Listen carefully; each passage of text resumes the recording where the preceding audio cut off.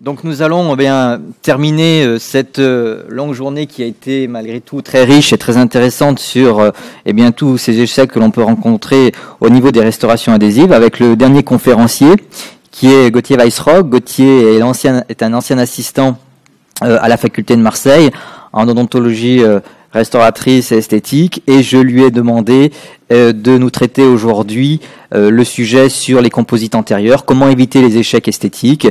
Euh, c'est l'une de ses spécialités. Et euh, Gauthier fait partie également du groupe de l'Académie du, Sourire où il intervient régulièrement. Gauthier, merci à toi aussi d'avoir accepté mon invitation. Merci à toi, Et comme les autres, tu as 45 minutes pour nous exposer donc comment éviter tous ces problèmes esthétiques dans le secteur antérieur avec les composites antérieurs. Merci Nicolas, bonjour à tous et à toutes.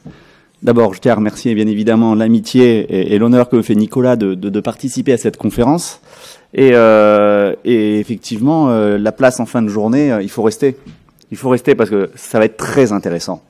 Ça va être très intéressant, mais il faut pas qu'on s'y trompe. Hein. Je, vous verrez pas de film de moi hein, hein, en YMCA en train de casser un mur. Ça, c'est pas possible. Vous verrez pas, vous ne verrez pas parler de balles de tennis qu'on trempe dans de la sauce bolognaise. non, mais ça, c'est pas possible, ça. Et enfin, excuse-moi, Nicolas, mais je parlerai pas de point G non plus. Hein. Voilà. Bon. malgré tout, restez. Vous allez voir, ça va être très sympathique. On est ensemble. D'ailleurs, euh, juste pour te couper, bon, j'ai pas osé poser la question, mais enfin, en tout cas, Nicolas, il y a certaines personnes qui m'ont demandé si tu pouvais leur aider à trouver leur point G. Euh, j'ai reçu d'ailleurs le numéro de téléphone. Voilà. Mais bon, comme je vois que l'ambiance est en train de se, se, détendre, c'est pour ça que je me permets de, le dire maintenant. Voilà. Excuse-moi de t'avoir coupé. Non, non, mais avec plaisir. Bref, non, je suis à ma place. Je suis à ma place en fin de journée et c'est normal. Je suis à ma place en fin de journée. Pourquoi? Parce qu'on parle d'esthétique. On a parlé de biologie, on a parlé de mécanique, on a terminé sur les tenons fibriques de la mécanique. L'esthétique, dans notre triade, dans notre cahier des charges de la dentisterie adhésif, c'est à la fin. Et c'est normal. Quand on veut réussir une restauration, on pense d'abord au complexe pulpo-dentinaire, à la préservation de la vitalité pulpaire, et je suis désolé, ensuite à l'esthétique. Et quand on me demande de traiter les, échecs esthétiques, oui, alors on va les traiter, je vais essayer de vous donner des tours de main, les étapes clés à respecter, mais je ne peux pas ne pas parler de, d'échecs complexes, d'échecs combinés. Cette patiente qui vient à la consultation me dit mais c'est pas beau, dans mon sourire ça va pas. Est-ce que vous, vous pensez que ça, ça va être notre priorité? À ces endroits-là, on sait que la pulpe n'est pas très loin, qu'on a une carie infiltrée, on se dit oui, d'accord, on va, on va traiter, mais d'abord, d'abord, je vais essayer de préserver le complexe pulponantinaire, et ensuite, dans un second temps, on va essayer de faire quelque chose de joli. Bon, soit, ça, on sait faire, on sait faire relativement simplement, parce que ce sont des cavités finalement avec une bonne méthode qui va être fiable et reproductible, mais il y a échec et échec. Si je vous montre ce cas clinique, c'est échec ou c'est pas échec? C'est échec, forcément. C'est un échec pour moi. Mais, comme on dit à Marseille, il faut pas faire le malin. Parce que elle a une trentaine d'années. Ça fait 15 ans qu'elle a le composite. 15 ans. Alors oui, il a tous les défauts. Mais la pulpe est vivante. Il n'y a pas de sensibilité. Et il a tenu 15 ans. Alors le matériau, passons. Au niveau de la limite, passons. Au niveau de la forme, passons. Ça fait beaucoup de choses qu'on passe. Mais si moi, je lui refais ce composite et qui tient six mois, j'aurais beau vous montrer une plus belle photo que ça, ce qui est le cas, eh ben, il faut vraiment, vraiment que je sois sûr de mon coup, que je sois sûr de la méthode. Enfin, on a beau être sûr, on a beau venir parler humblement devant les confrères, invités par, euh, par Nicolas, euh, quand des personnes se présentent, il ne faut pas penser que je réussis à tous les coups, tous les cas que je fais. Détrompez-vous, c'est pas vrai. J'essaie d'en minimiser un petit peu le, les effets néfastes, mais cette patiente, quand elle se présente chez moi, je vois un petit composite comme ça, là, dégradé, cassé, en surcontour, un angle abîmé. Je me dis, chouette, je vais parler à l'ADF, je vais faire un step by step et on va, on va, faire passer qu'on est le meilleur. Mais au final, au final, j'ai tout faux. Au final, j'ai tout faux. Pourquoi? Parce que finalement, ces composites, vous les auriez remarqués, vous les auriez remarqués tout de suite. La limite est visible, l'état de surface n'est pas bon, même la teinte ou la couleur n'est pas bonne. Ça, ça marche pas. Donc ça marche pas à tous les coups. Le but d'une méthode, c'est d'être le plus fiable et reproductible, mais les échecs, font partie de notre quotidien et le tout, c'est de changer la pratique derrière pour essayer de les minimiser la fois suivante. Alors si on devait un petit peu retenir le schéma de cette conférence, ce serait quoi? Si je vous dis échec au niveau des composites antérieurs, la première chose que vous allez me répondre, c'est la teinte. La teinte, je vous ai dit, on a parlé de la biologie, laissons-la de côté, la teinte, soit. Après, cette, Frédéric vous en a un petit peu parlé, cette césure optique qu'on obtient souvent entre la dent et la restauration visible, ce trait gris, comment l'éviter? Et enfin, en dernier lieu, on va parler ben, d'un défaut de forme. Mais cette triade d'échecs, il faut la gérer. Et elle se gère à travers une méthode, et à travers cette méthode, à travers des étapes clés. Et qu'est-ce qu'on va appeler des étapes clés? C'est juste des étapes qui ont une très grande incidence sur le résultat final. C'est des étapes où il va falloir un tour de main clinique, il va falloir avoir des garde-fous et ne pas passer au travers. Alors, on pourrait en, donner beaucoup. Ça ressemble à ce que vous avez vu, mais le diagnostic esthétique, ça veut dire quoi? Ça veut dire que votre patient s'installe sur le fauteuil.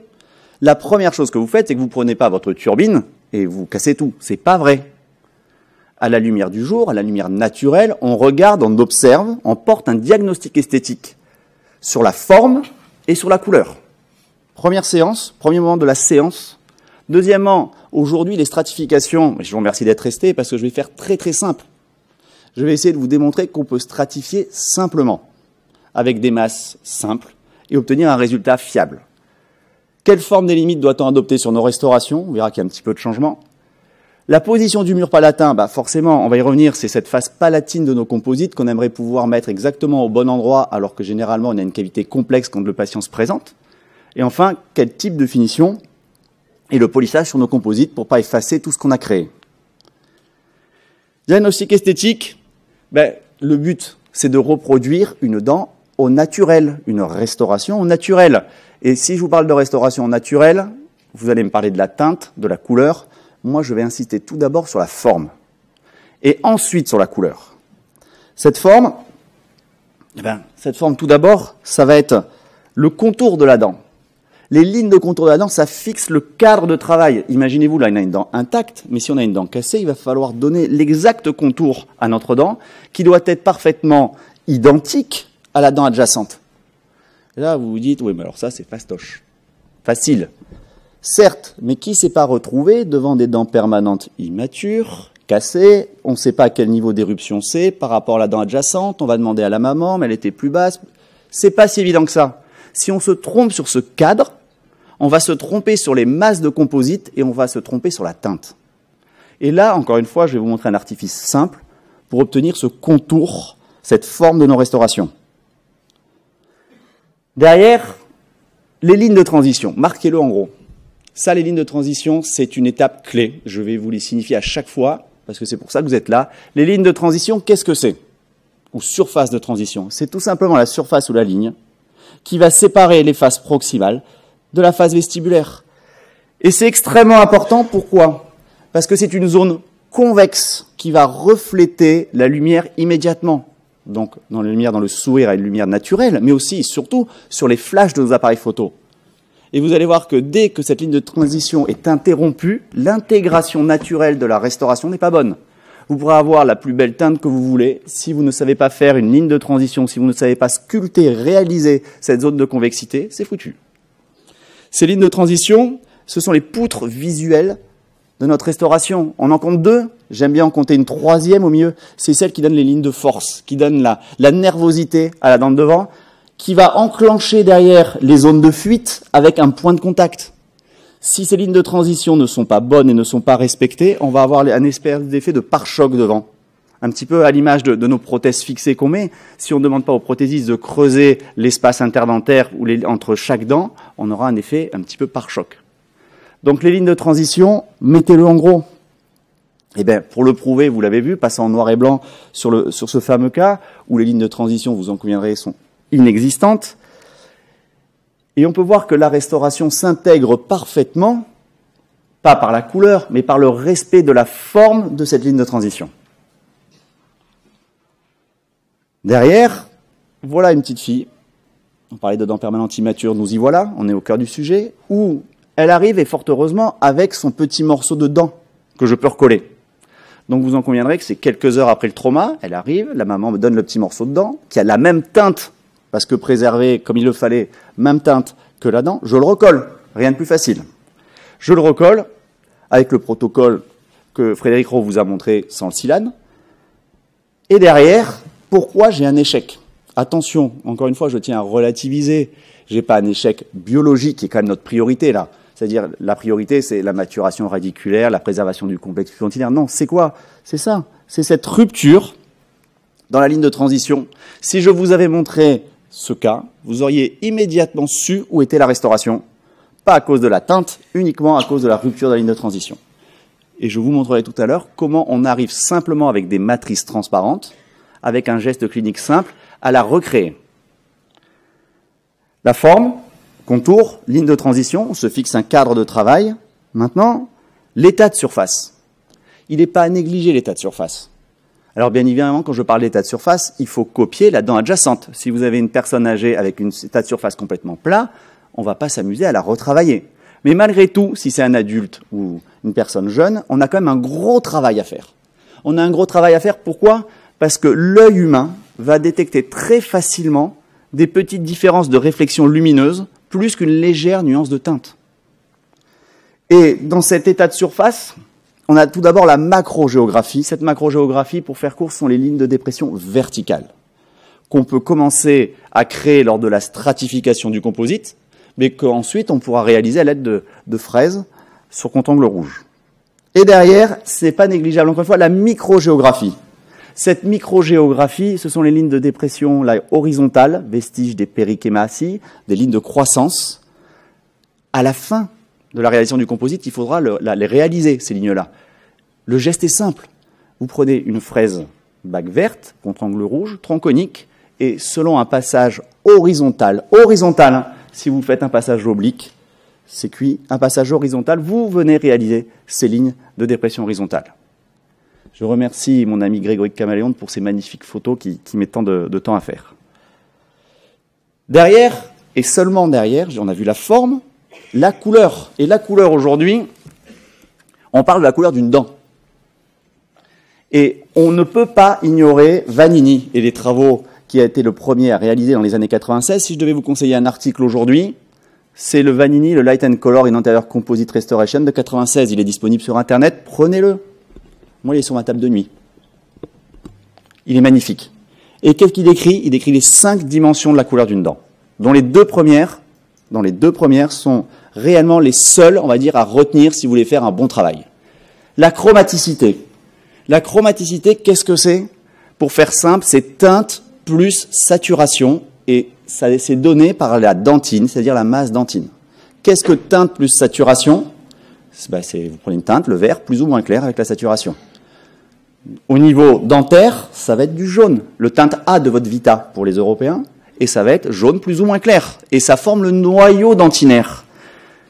Mettez-le en gros, mettez-le en gros, la masse dentine de composite, la masse de composite, on n'en met jamais assez c'est la masse principale de votre restauration. Si vous n'avez pas de masse émail dans votre coffret, ou si elle est périmée, ou si vous n'en avez plus, même avec une masse dentine, vous aurez un résultat satisfaisant. À l'inverse, si vous reste que de la masse émail, c'est cuit. Mettez toujours de la masse dentine, et quand vous avez un doute, on verra bien comment réaliser ces épaisseurs, mais trop, c'est jamais trop.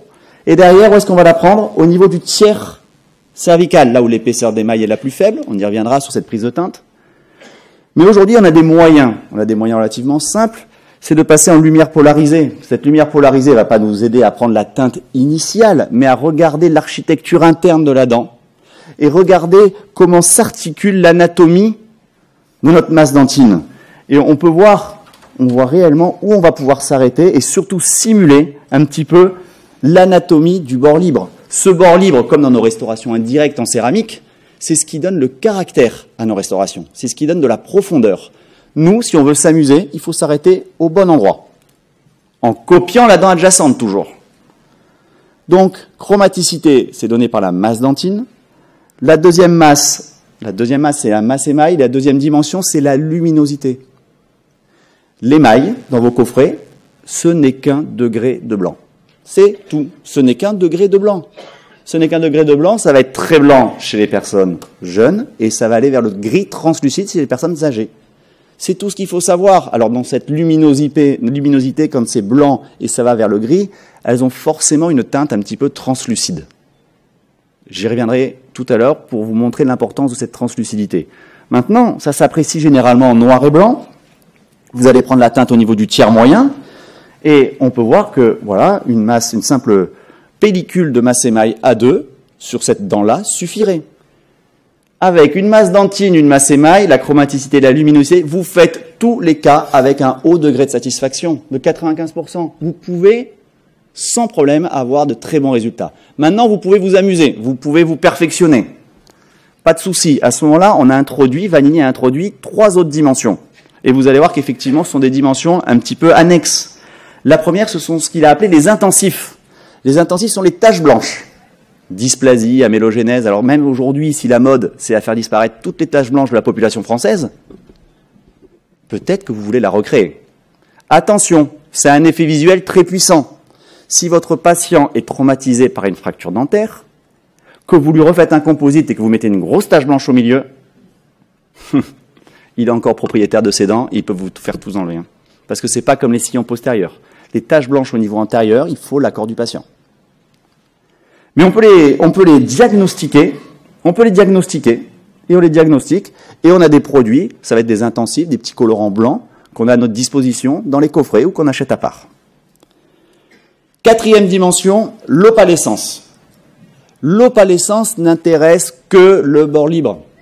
Que le bord libre. Je vous ai dit tout à l'heure que la masse émail avait déjà des propriétés de translucidité. Cette propriété de translucidité qu'on va retrouver au niveau du bord libre, c'est tout simplement la réfraction de la lumière à travers les cristaux d'émail avec le fond noir de la bouche. Ça donne du gris bleu. Si vous mettez que une masse émail au niveau du bord libre, vous l'aurez cet effet de translucidité. Vous l'aurez c'est sûr. Si vous voulez l'accentuer, c'est-à-dire que vous avez vraiment un bord libre avec une translucidité assez importante, rajoutez un petit peu d'opalescence. Mais encore une fois, c'est un effet visuel extrêmement puissant. Et vous, parfois, vous allez vous retrouver avec des placards bleus ici, à démonter. À démonter, clairement. Ça, c'est vendu dans des coffrets, dans des seringues qui vont nous faire toute notre vie. Parce que quand vous les utilisez, vous en mettez sur votre petite table de travail, vous prenez une, petite lime en dos et vous venez le positionner.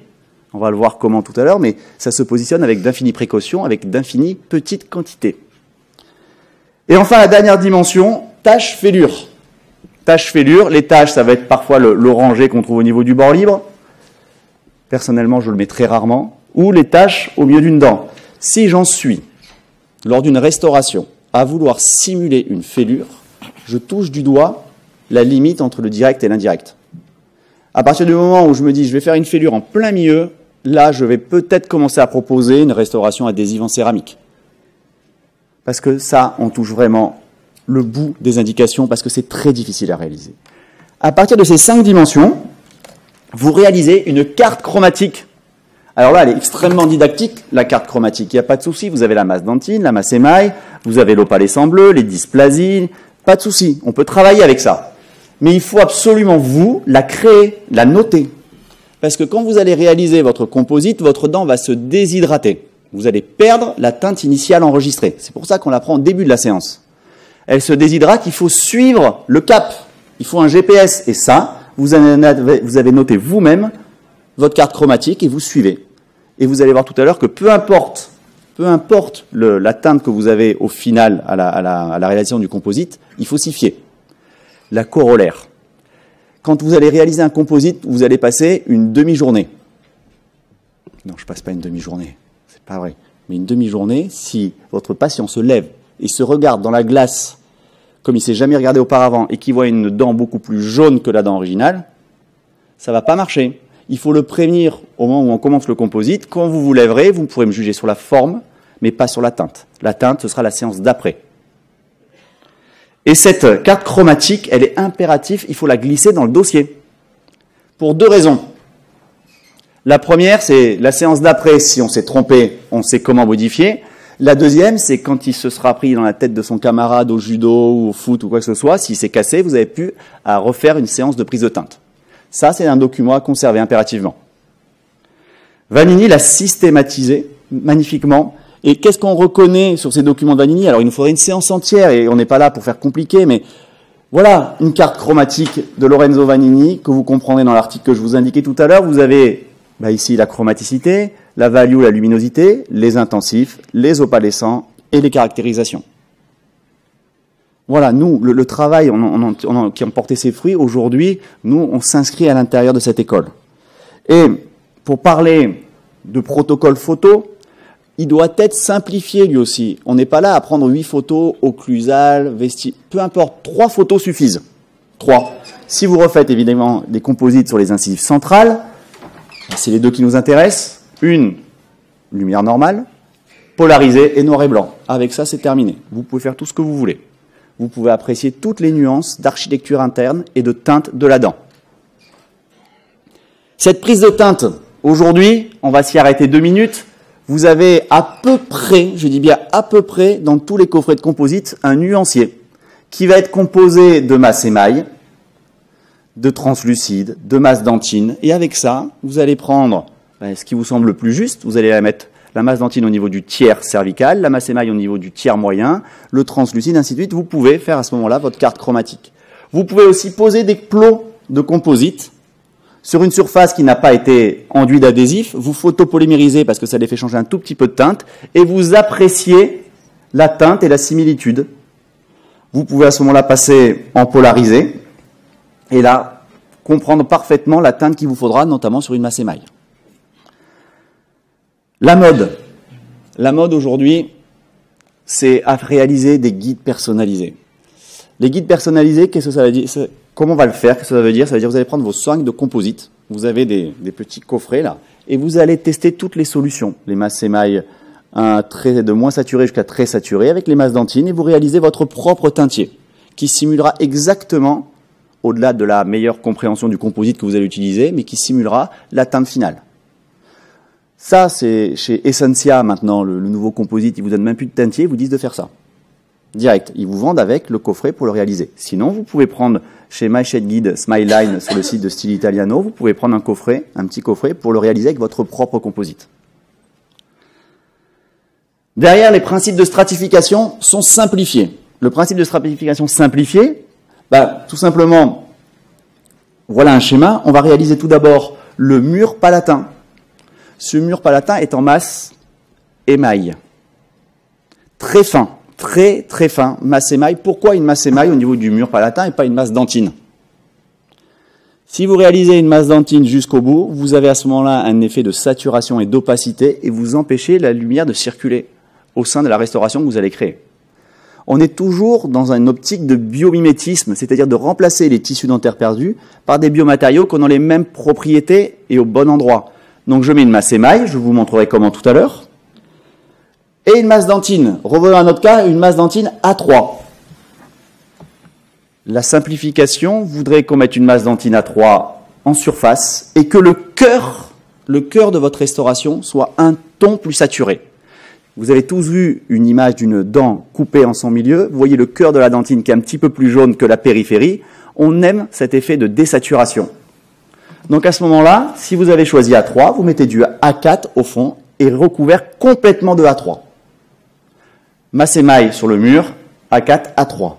Et si je devais donner une recette, c'est pas moi qui la donne, c'est réalisé dans le livre de, de Jordi Manota et Anne Salat, ici Layers de 2012. Voilà, j'aime pas les, les choses dites universelles, mais ce qu'ils ont proposé, si vous voulez une teinte finale souhaitée de A1, la teinte de surface sera A1 en profondeur A2.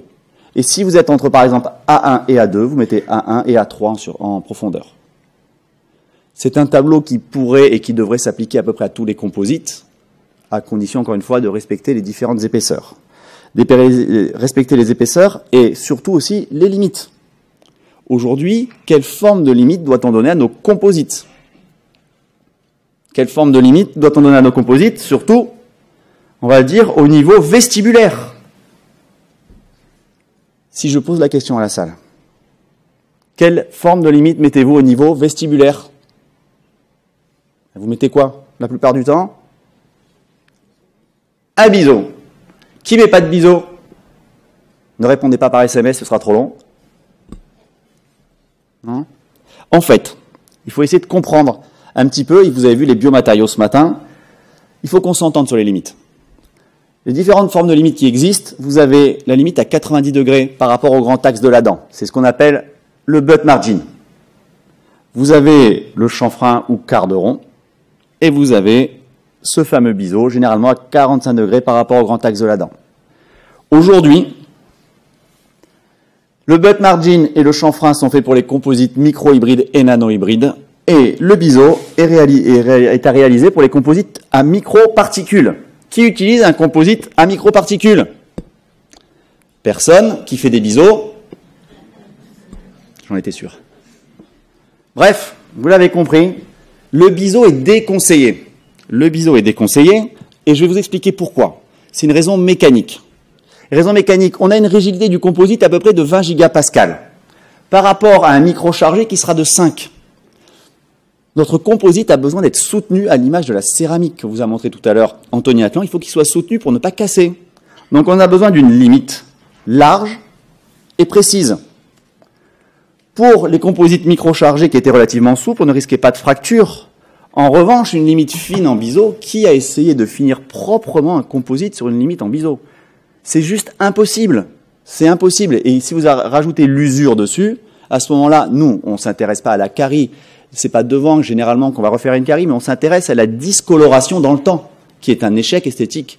On s'intéresse à la discoloration entre la dent et le composite. Donc aujourd'hui, les limites se font en forme de chanfrein. Vous prenez une fraise boule, une fraise tronconique à bout arrondi, contre angle rouge, sous spray, et vous réalisez votre chanfrein. Au niveau palatin, un simple butt margin suffit. Un simple butt margin suffit pour des raisons biomécaniques. On l'a évoqué tout à l'heure, c'est Frédéric qui l'a évoqué tout à l'heure, il faut polir les limites pour enlever les prismes d'émail non soutenus, disgracieux, source de discoloration. Pour polir, ne prenez pas des pointes montées siliconées. Si vous prenez du silicone, ça va interférer avec l'adhésion. Prenez des pierres d'Arkansas éventuellement, des choses rigides. Sinon, vous avez des débris qui vont se disposer à la surface et derrière, vous risquez de l'inhibition sur votre composite. Donc, on l'a compris. Je crois que vous savez tout sur les limites. Derrière, bah, on va s'arrêter où? Notre masse dentine sur notre chanfrein, où va-t-il s'arrêter? Où notre masse dentine au niveau du bord va s'arrêter? À ce moment-là, il y a une règle simple, c'est la règle des 0,5 mm. Il faut que notre masse émail n'excède pas une épaisseur de 0,5 mm au niveau de notre limite. Comment fait-on pour être fiable et reproductible sur une épaisseur de 0,5 C'est très difficile. Et il y a un instrument dont je me sers de, manière très courante, c'est le Misura ici, euh, distribué par Pred. Et qu'est-ce qu'il a de bien cet instrument? Ben, C'est à peu près comme une sonde, sauf que vous allez voir qu'il s'arrête ici en entonnoir. Et l'épaisseur de cet entonnoir entre ce qui suit derrière, c'est de 0,5. Donc vous le mettez de manière tangentielle par rapport au grand axe de la dent, et vous allez réaliser des mouvements d'essuie-glace de gauche, de droite. D'accord? Vous voyez, on le voit bien ici, on se met sur la limite et on fait des mouvements d'essuie-glace. Je m'explique, vous avez mis votre dernière masse de dentine non photopolymérisée. Vous prenez votre instrument, vous balayez, il reste accroché à l'instrument et votre assistante avec une, lingette enlève les excès qui se trouvent sur l'instrument. Vous avez 0,5 de limite. Si vous ne respectez pas, respectez pas 0,5, vous allez avoir ce fameux liseré gris entre la dent et la restauration. Au niveau du bord libre, où arrête-t-on la masse dentine au niveau du bord libre? On va l'arrêter en le calquant sur la dent adjacente. Si vous avez une personne âgée, où va-t-on arrêter notre masse dentine d'après vous? Mais tout au bout. Et on va s'affranchir de tout ce qui est transparent, de tout ça. On s'en fiche. Parce que les personnes âgées, généralement avec l'usure, n'ont plus de translucidité. En revanche, si vous êtes sur une personne relativement jeune, qui a une anatomie au niveau du bord libre assez marquée, à ce moment-là, il faut vous arrêter au même endroit. Ça peut être 1, 2 mm, peu importe. Et surtout, sur une anatomie interne que vous avez déterminée au départ. Derrière, on veut s'amuser, amusons-nous. Mettons un petit peu des colorants blancs pour simuler des dysplasies. Je ne le fais que très, très, très rarement. Je vous assure. Pourquoi pas? Derrière, si on veut accentuer notre opalescence du bord libre, à l'aide d'une d'eau, je prélève un petit peu de translucidité, je le mets ici, vous voyez, entre les lobes dentinaires. Derrière, pourquoi pas aller jusqu'au bout, un coup de caractérisation, un petit peu d'oranger, ça fait pas de mal. Et ensuite, on referme notre sandwich. On referme le sandwich avec notre masse émail qui, qui n'excédera pas combien? 0.5. Globalement, globalement, enlevez le bleu qui est là. Si vous avez trois masses, une masse émail palatin, deux masses dentines dans le cœur, une masse émail vestibulaire avec 0.5, vous avez tout juste. C'est tout. L'important, c'est de ne pas se tromper sur la masse dentine au départ. L'important, c'est de ne pas se tromper sur l'épaisseur de la masse émail qui nous joue comme un agent modificateur de la teinte dentinaire sous-jacente. C'est tout. Et après, c'est bon. Ça fonctionne. Pourquoi? Parce que notre masse émail, si vous en mettez 0,3, vous aurez un aspect trop opaque de votre restauration. 0,7, trop gris. Et 0,9, on n'a plus qu'une masse émail de dentine. L'idéal, c'est 0,5, ça modifie notre masse dentine sans baisser la luminosité. Notre cas clinique, notre cas clinique en voilà un. A3, A2, c'est rapide, la, photo est un petit peu floue. Réalisation de la clé en silicone. Je vous ai parlé des lignes de transition, je vous ai parlé de la teinte de la dentine. Ça, c'est une étape clé. Une clé palatine en silicone que vous allez calquer sur la restauration si elle a une forme et une occlusion correcte.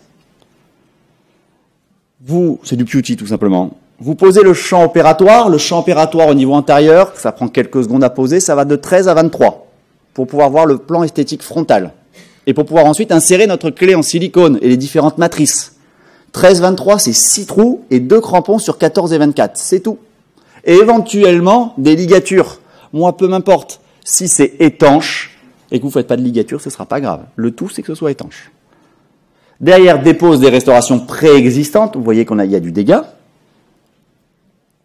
nos lignes de finition, ici un congé, sous spray, et on va essayer notre clé. C'est très important. Vous avez remarqué comme j'ai réduit la taille de la clé. Avec le champ opératoire, une clé ne rentre pas et elle a tendance à être désinsérée par l'arrière. Si je positionne mal ma clé au moment de la réalisation du composite, je vous ai parlé en préambule des formes de contour de la dent, j'ai une mauvaise forme initiale, j'échoue au final. On prend du temps, pour être sûr de sa parfaite stabilité et de son insertion. Derrière, adhésif. Aujourd'hui, je pense que vous savez tout, tout ce qu'est l'adhésif on va utiliser. Je ne vais pas le redétailler. Je pense que vous en avez assez. Évitons les systèmes automordansants. Privilégions les systèmes avec un mordançage préalable. Vous mordancez l'émail 30 secondes, 15 secondes la dentine, vous rincez, vous séchez, vous photopolymérisez, c'est prêt. Il faut généralement mettre ici des petites matrices transparente pour éviter les excès d'adhésif dans les espaces interproximaux. Vous venez ensuite frotter avec l'adhésif. Je l'ai encore dit, tu vois, fait quatre fois. Trois fois, quatre fois, on frotte. Et on n'insistera jamais sur le thème qu'il faut frotter. Et derrière, notre clé en silicone. Notre clé en silicone, vous allez mettre votre masse émail.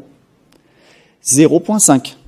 C'est très très fin. C'est très très fin. Et surtout, le composite a la propriété de coller à la spatule et pas du tout au silicone. Donc au début, c'est un petit peu une galère, mais on y arrive. Vous pouvez un petit peu tremper votre spatule dans, un petit peu d'alcool euh, légèrement euh, humidifié. Et derrière, vous venez lisser votre compo. Vous le lissez, vous le mettez en place. Vous mettez en place, vous vous assurez de la parfaite coaptation du composite avec la face palatine. Vous pouvez à ce stade-là, avant photopolymérisation, encore modifier cette masse. Et derrière, vous photopolymérisez. Vous avez remarqué la finesse de la paroi? Ça implique quoi? C'est fragile.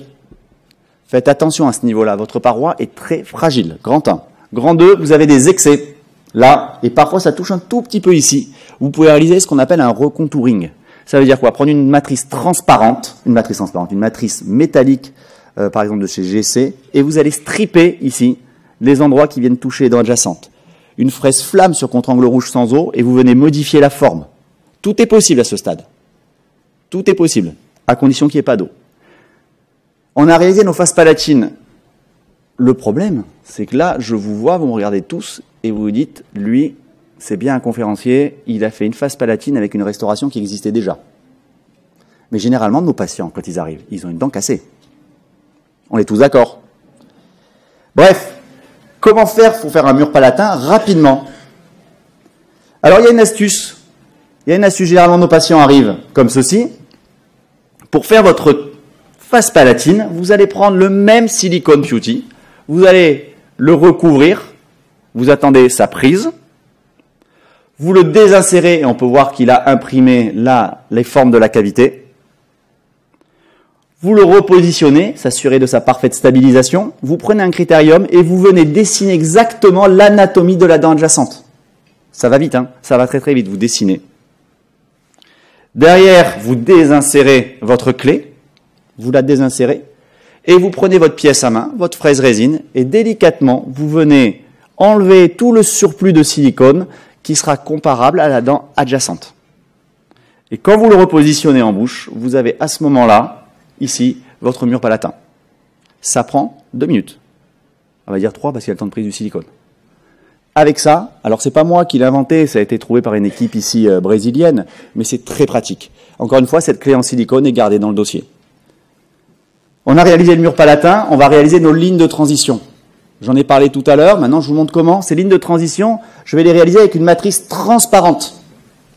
J'aime beaucoup utiliser la matrice transparente euh, de la strip roll de chez. Vous en prenez 2 cm. Vous la pliez en son milieu. Ça vous fait un, angle à 90. Il y a l'angle à 90, il y en a un qui va se poster derrière la face palatine et l'autre, pan de la matrice, vient s'enrouler autour du mur. Vous mettez un peu de composite masse. Masse quoi? Oh non, pas masse dentine qui a dit ça. Masse émail. Masse émail. Masse émail. Et vous tirez dans le sens controlatéral vous tirez, vous voyez, j'ai un, doigt là, je viens de tirer, et vous voyez que la photo, c'est pas photo polymérisée, hein, mais regardez ce que ce qu'on réussit à capturer là. Cette ligne de transition. On l'obtient d'emblée. Il suffit de tirer, et en tirant, et alors forcément, on essaie de positionner comme il faut cette, cette puissance et cette direction lorsqu'on tire, et on photopolymérise à ce moment-là. Et on voit, lors de la photopolymérisation, encore une fois, notre fameuse ligne de transition. Derrière, on réalise ces lignes de, transition, ces faces proximales partout. Le but étant de partir d'une cavité complexe en une cavité simple.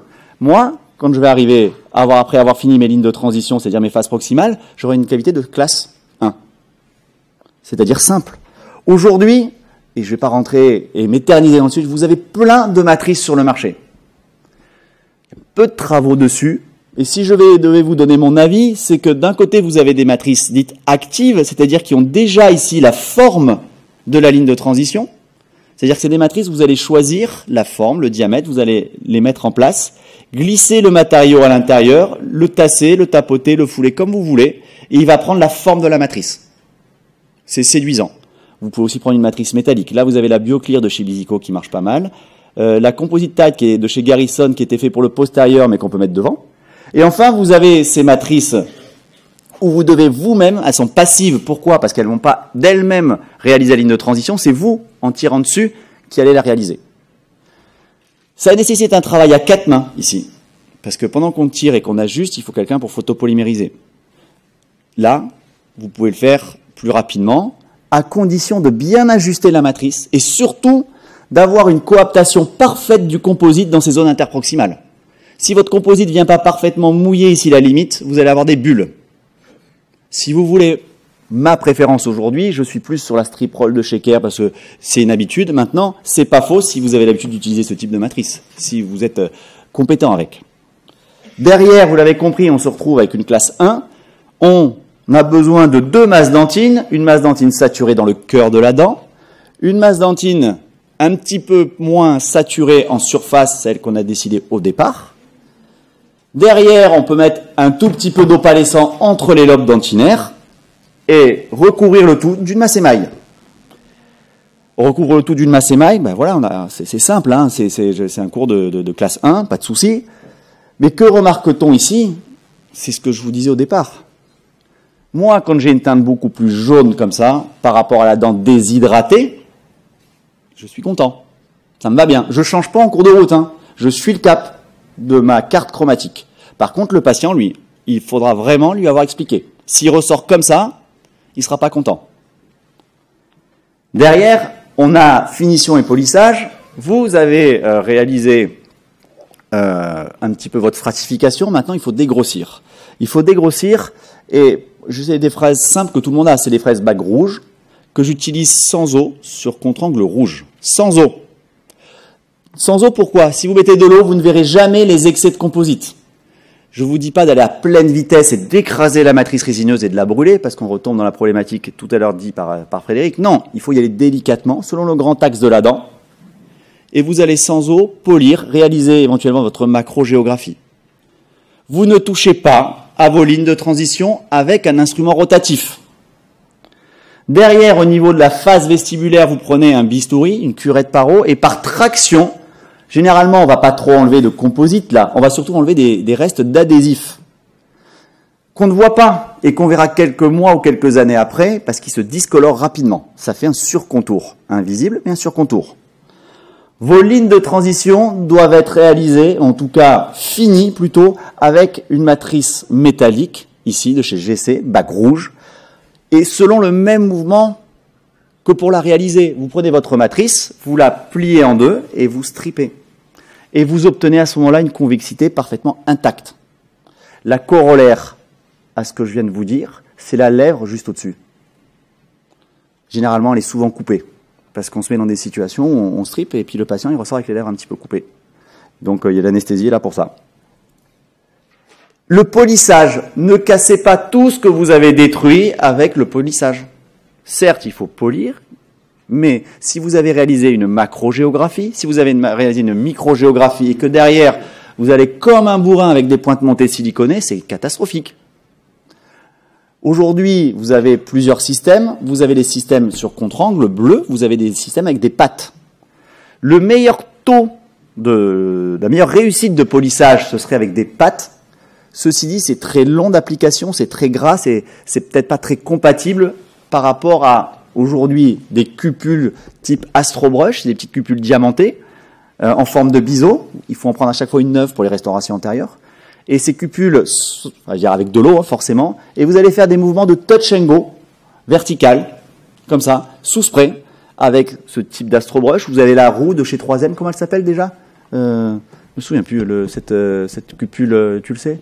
Enfin, elle, elle marche très bien, c'est les mêmes, c'est le même principe, c'est de la pâte diamantée sur du, sur du caoutchouc, quoi et sous spray, par des mouvements de touch and go, vous venez polir pour obtenir un résultat bah, tout simplement qui est, euh, qui est correct. Alors là, si on compte le nombre de masses, j'en ai pas mis beaucoup, hein, j'ai mis trois masses, plus un peu de translucide, d'accord. Mais pour obtenir des résultats comme ça, on n'en met pas beaucoup. Et il y a des défauts, vous avez remarqué?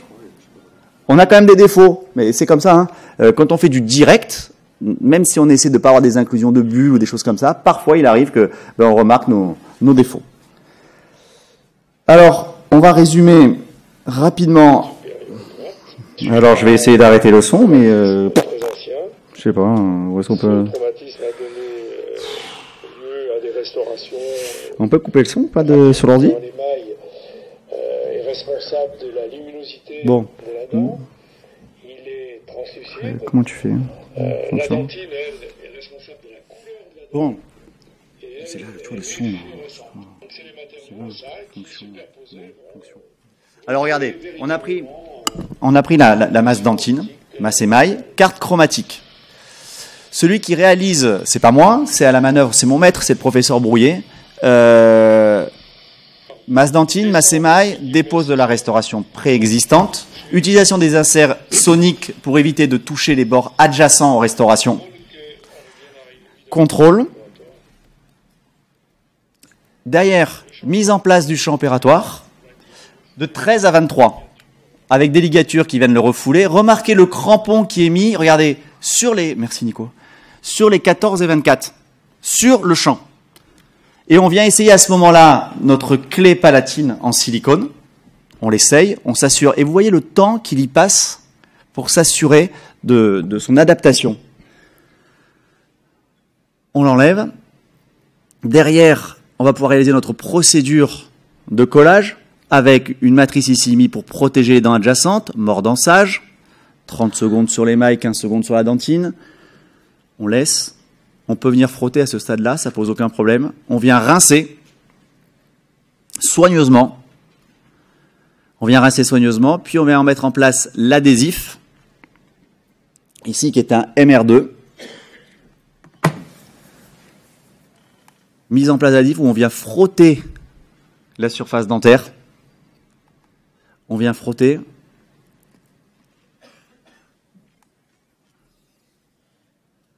On sèche pour évaporer les solvants qui sont contenus à l'intérieur. Et derrière, on va passer à ce moment-là à la réalisation du, du en passant par la clé palatine en silicone. Masse émail. Et on prend son temps dessus. Hein. Vraiment, on prend son temps parce que là, ça a l'air de rien, mais comme je vous ai dit tout à l'heure, le, composite, il colle beaucoup à la spatule. On le met en place. Et regardez ce petit mouvement qui est anodin, mais on vient parfaitement s'assurer de la coaptation entre le composite et la dent. On prend son temps parce que de là découle la forme de notre restauration finale. Donc il ne faut pas se tromper. On photopolymérise. Voilà, vous avez votre mur. Si vous avez un mur trop fragile, avant de réaliser les faces proximales, vous pouvez mettre un plot de masse dentine en son centre pour éviter qu'il ne casse lors de la traction avec les matrices. Ça me gêne. Ne mettez pas un gros pâté au centre, hein, mais vous mettez un plot, un incrément là, au centre et ça fonctionne. Ici, réalisation des faces proximales. Donc, vous la voyez, cette fameuse matrice transparente à 90 degrés? Elle est bloquée par le pouce, une partie par ici, et l'autre, on vient fermer notre box. Regardez, voilà, on vient fermer. Et il y a un moment où votre œil va capter que vous êtes pile dans la bonne situation. Vous allez voir se dessiner la ligne de transition. Et vous la figez. Vous la figez quelques secondes, pas la peine de photopolymériser 30 secondes, vous ferez ça à la fin. C'est pas grave, vous figez quelques secondes et vous passez à la suite. Tous les apports de composite sont figés pendant quelques secondes et au final, vous ferez une polymérisation finale. Derrière, vous n'avez pas forcément besoin de coins, on ne cherche pas à écarter les dents, on cherche à bloquer notre matrice. Masse émail, même chose, à 90 degrés, on vient coffrer notre restauration. Voilà, on vient la coffrer on s'applique et dès qu'on est bon, on donne le top départ à l'assistante pour figer la situation. Là, on a notre composite face palatine, face proximale, deux masses dentines, une masse dentine un petit peu plus saturée dans le cœur de la dent. Voilà le, pinceau que vous avez vu tout à l'heure de chez GC. Là. Vous venez le lisser. On est dans des formes convexes. Le composite, il faut le guider, il ne faut pas le fouler. Donc on le guide avec nos pinceaux pour avoir une forme lisse et convexe. Vous voyez, ce sont des formes convexes. On se tient à distance ici, là, du chanfrein, à distance du bord libre. Toute la partie composite qu'on vient de mettre doit être recouverte par la masse dentine finale. On décide de réaliser des lobes dentinaires on réalise, on les lobes dentinaires, ici c'est trois. Si on avait, en avait plusieurs, ou si on, on en réaliserait plusieurs, euh, si on avait une ligne droite, on ferait ça droit. Et derrière, vous réalisez les lobes. Regardez la convexité. Ils viennent mourir sur notre chanfrein. On prend, on prend son temps. Vous pouvez les réaliser lobe par lobe. Ici, les réaliser les trois en même temps, euh, il a pris des risques, euh, mais bon, lui il y arrive, euh, moi non. Donc on réalise lobe par lobe, on prend son temps, vous voyez, là vraiment, il faut prendre son temps. Et regardez, il y a 0,5 ici, hein, pas plus, hein, à peine. Et derrière, on vient figer la situation. Et masse émail. On recouvre d'une masse émail. On commence à dessiner la macro-géographie à ce moment-là. On, peut prendre, là, alors là, il faut bien se dire qu'une fois qu'on a recouvert de masse émail et qu'on peut prendre beaucoup de temps à réaliser tout ce qui suit derrière. Au bout d'un moment, il faut s'arrêter. Euh, il faut s'arrêter parce qu'il faut être euh, dans un contexte socio-économique euh, qu'on connaît. Au bout d'un moment, il faut s'arrêter. Derrière les finitions, vous avez les bagues rouges, bagues jaunes. Le disque, méfiez-vous parce que ça, a tendance à effacer beaucoup votre, texture de surface. Et derrière, votre patiente qui va se regarder, et on en a parlé ce matin, comme elle s'est jamais regardée auparavant, dans une glace. Parce que ça, effectivement, c'est deux minutes et après, c'est oublié. Il faut savoir que le degré d'exigence pour les composites est quand même moins élevé que pour les céramiques. J'ai rarement des, doléances esthétiques euh, pour, les compos devant. C'est plus notre exigence à nous qui nous pousse à aller faire des modifications, pas forcément le patient. Vraiment. Dernier cas, j'ai fini avec. Je finis avec un échec et la gestion d'un échec de composite. Vous avez une dent dépulpée, dyschromiée, votre patiente s'installe sur le fauteuil, vous vous dites, enfin moi je fais déjà chauffer la turbine là. Tout le monde, vous êtes, à, vous préparez le devis, ainsi de suite. Et quand on y regarde de plus près, il faut étudier les situations. Cette dentisterie adhésive nous a apporté des solutions où il faut arrêter de penser en termes de mécaniste. Et aujourd'hui, une dent dépulpée n'est pas forcément à couronner. Aujourd'hui, elle repose sur une analyse, notamment de la perte de substance. Là, vous voyez tous la teinte. Éliminons la teinte. Soit on l'élimine, d'accord? On dit que le problème est réglé. Analysons plutôt la, la forme qui est correcte et la perte de substance. Cette perte de substance, si cette dent était d'une bonne couleur, si cette dent était vivante, est-ce que vous feriez une couronne ou une facette? Tu me diras en SMS s'il y en a qui m'ont dit oui quand même. Hein je, je tiens quand même à, et derrière, on décide à ce moment-là de réaliser un éclaircissement interne. Un éclaircissement interne, perborate de sodium avec de l'eau, pas avec de l'eau oxygénée. On va pas s'étendre sur le blanchiment interne, c'est pas le but aujourd'hui. On laisse quelques jours. Une fois qu'on a la teinte souhaitée, on le neutralise 15 jours avec de l'hydroxyde de calcium et ensuite on peut reconstituer notre composite exactement de la manière dont on vient de parler, c'est-à-dire notre clé, la préparation, pose du champ opératoire, mordançage, mise en place de l'adhésif, tout ça vous connaissez, mur palatin, les lignes de transition, mésiale, distale, notre box est réalisé, une masse dentine, une deuxième masse dentine, j'ai pas besoin de faire de lobe, regardez c'est droit ici, je vais pas m'amuser à faire des lobes et à me compliquer la vie, je, respecte la translucidité de la dent adjacente, et derrière mon composite terminé, alors j'ai encore un travail de surface à faire, mais le résultat final, le résultat final, je suis sûr que si j'avais fait une, facette unitaire, hein, parce qu'il était hors de question d'aller faire une deuxième facette sur cette dent-là, une facette unitaire, combien d'essayages aurait-il fallu faire pour avoir un résultat comme ça? Donc ne me parlez pas d'argent sur ce coup-là, parce que là, je l'ai pris en photo, mais euh, même si vous faites une facette, je ne sais pas quel prix vous faites, mais le nombre d'étapes successives qu'il va falloir faire pour arriver à un super résultat, parfois, dans la balance, si c'était qu'une balance financière, eh ben, je serais, je serais content d'en discuter. Mais au final, en discuter, à quoi bon quand vous ressortez avec un patient qui a un sourire comme ça? C'est le cœur de notre métier. C'est se donner un petit peu de satisfaction. Et malheureusement, dans notre métier, je crois que l'échec, vous l'avez compris, j'en ai. On en aura demain. Le tout, c'est de rebondir et essayer de se faire plaisir. Et j'espère ne pas avoir ennuyé. Merci pour votre attention.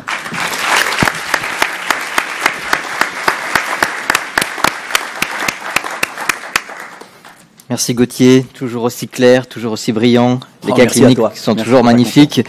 Euh, justement, tu as parlé un petit peu de, de budget, de choses comme ça.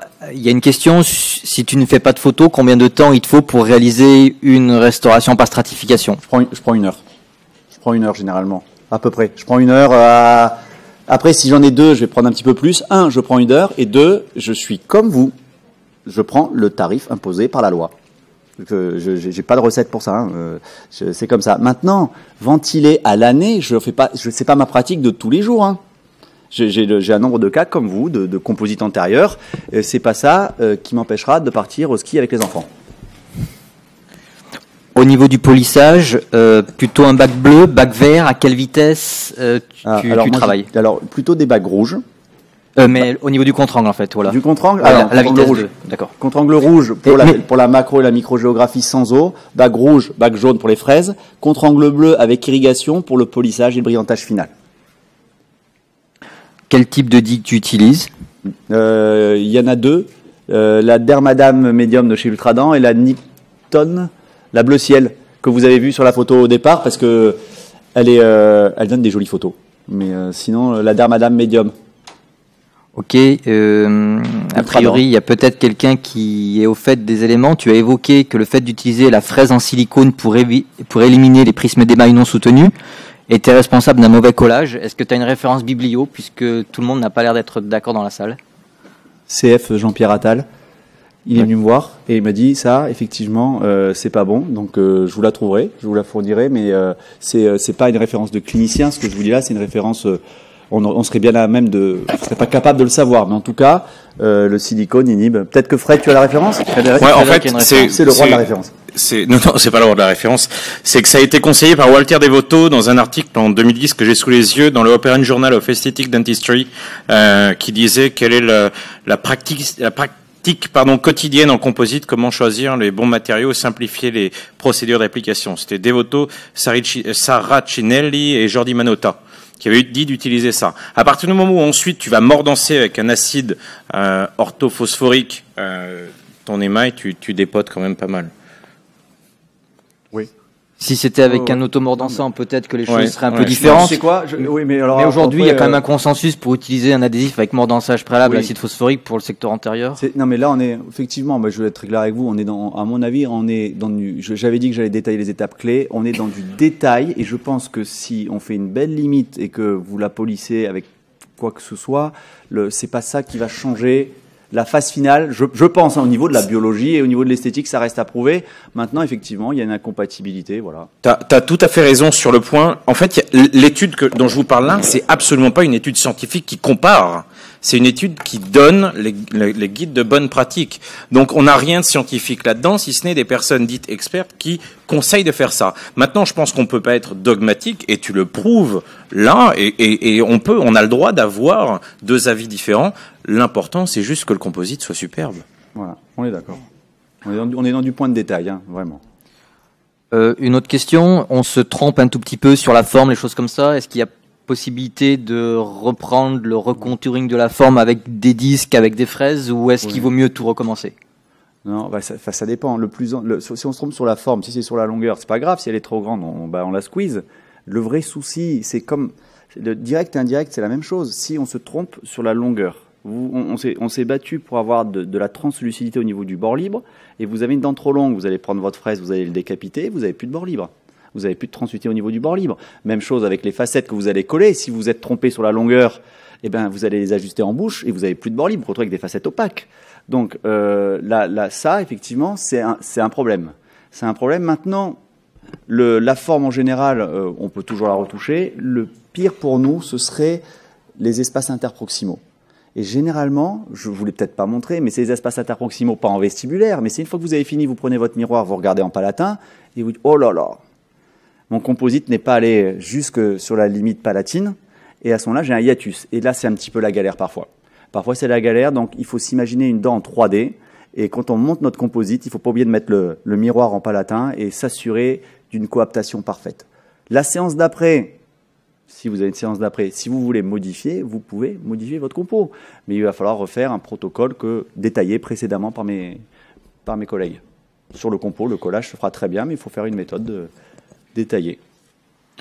Il y a une question également qui concerne en fait la gestion des faces proximales. Euh, Est-ce que tu n'as pas de souci de collage du composite sur les matrices euh, celluloïdes? Non. Non. Non, non, je, je- je- j'en j'en ai pas. Euh, je, je les, je les isole pas, j'en ai pas. Et euh, non, non, vraiment, c'est des, ma- c'est des matrices qui, sont parfaitement lisses, donc j'ai, pas de, j'ai pas ce problème.